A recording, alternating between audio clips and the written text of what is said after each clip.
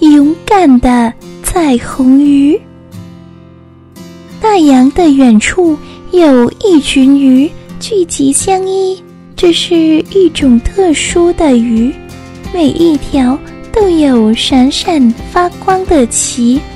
自从红彩鱼把自己美丽的鳍送给周围的鱼以后，它们就成为好朋友，做什么事都一起做。它们一起游，一起玩。一起吃东西，休息的时候也聚集在一起。他们和平相处，不在意任何一种鱼。一天，当他们正在玩着追逐游戏的时候，一条半纹尾巴的小鱼突然游过来。他们以疏远的眼光看着它。半纹尾巴的小鱼开口说。朋友们，请让我一起玩，好不好？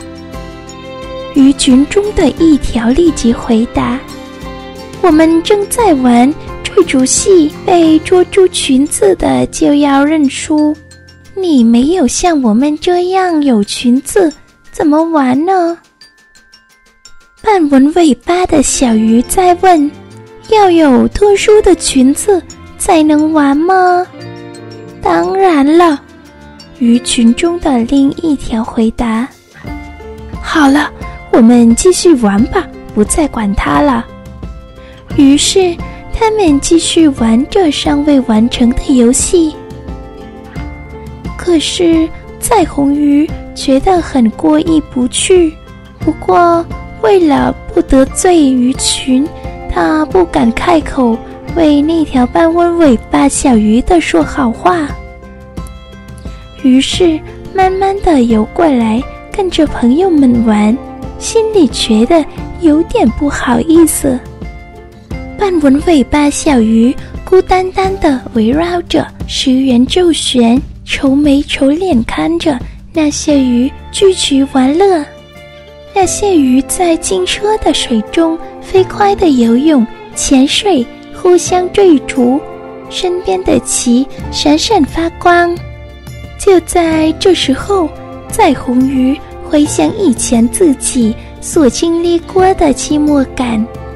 那时，其他的鱼都不跟它玩，因为它不愿意给大家自己灿烂、美丽的鳞。现在呢，谁也都想跟他玩，因为。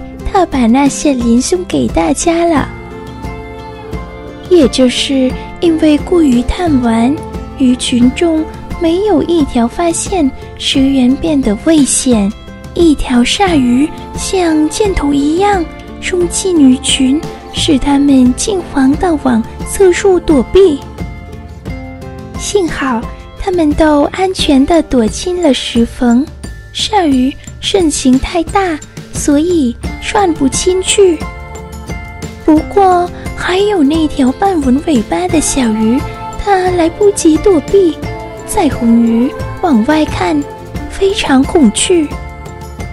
旁边的一条小鱼问他：“有什么事吗？”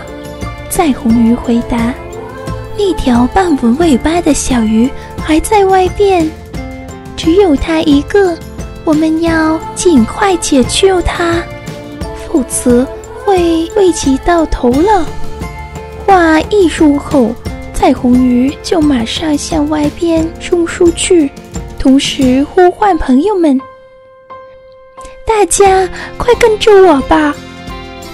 鱼群虽然害怕，但是他们知道这是自己该做的事，他们一起跟随彩虹鱼游出去。一会儿，就看见半纹尾巴的小鱼正在鲨鱼那个可怕的嘴前设立正着。彩虹鱼知道半纹尾巴的小鱼快要精疲力竭了，快冲上去解救它！彩虹鱼大声地喊。于是，一群鱼一同向鲨鱼冲上去。鲨鱼手足无措。东张西望，左抓右咬，直到眼花缭乱。趁此机会，彩虹鱼默默地带着半纹尾巴的小鱼逃到安全地方。那条半纹尾巴的小鱼说：“你真勇敢，谢谢你救命我。”小鱼们看着那条鲨鱼疲倦地离去，大家都安全回到石原以后。都热烈欢迎半文尾巴的小鱼加入队伍。彩虹鱼说：“要是你喜欢，你可以留下来跟我们一起玩。”半文尾巴的小鱼问道：“我没有像你们那样的裙子，怎么能玩呢？”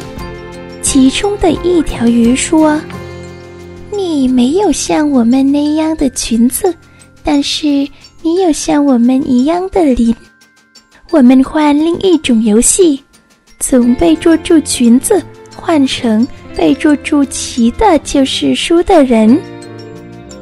鱼群欢呼表示赞同，并冲进清澈的水中，痛快的玩乐。